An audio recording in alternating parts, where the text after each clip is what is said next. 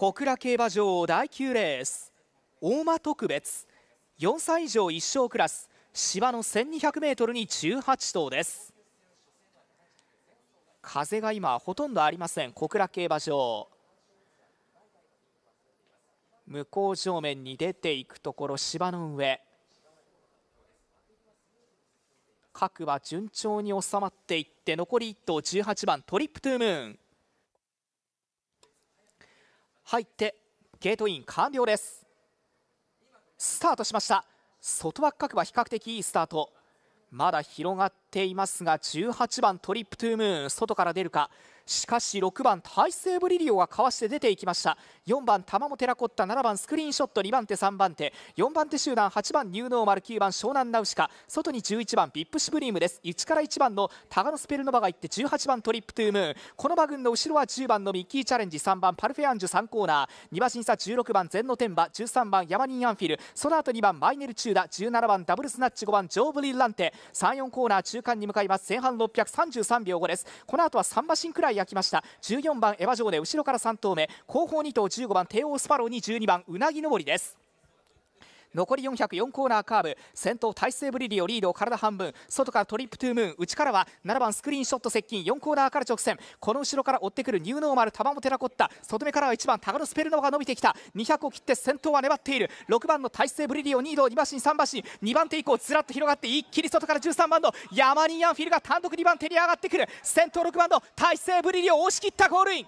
2着は13番ヤマニンアンフィル。3着争い広がって最後大外伸びてきた17番のダブルスナッチ。間からは1番タガノスペルノバが追い込んできてこの2頭で3着争いとなっています。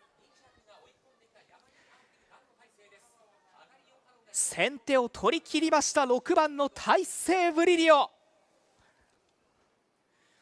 前回から1ハロンの距離短縮逃げてそのまま足色衰えませんでした。ずらっと2着争いはゴール前広がっていましたが追い込んできた13番ヤマニーアンフィルが最後2番手まで押し上げて3着争いは中段からさばいて空いたところ伸びてきた1番タガノスペルノバ。後方よりから末足一騎17番のダブルスナッチ。この2頭で34着争いです。5着争いのところにニューノーマルミッキーチャレンジそしてうなぎ登りと広がります。勝ちタイム1分8秒1上がりタイムゴールまでの 800m が45秒 6600m が34秒6です。6番大西ブリリオ。ディープブリランテ3区今日が4ヶ月ぶりの実戦でしたが2勝目をマークとなっています。導いたのは初コンビ三幸秀明騎手。芝の 1200m で1分8秒1という決着タイム。到達順は1着6番の大西ブリリオ。2着13番ヤマニーアンフィル。34着写真判定。この圏内が1番タガノスペルノバと17番のダブルスナッチ。そして5着10番ミッキーチャレンジと上がっています。写真判定の結果発表確定までお待ちください。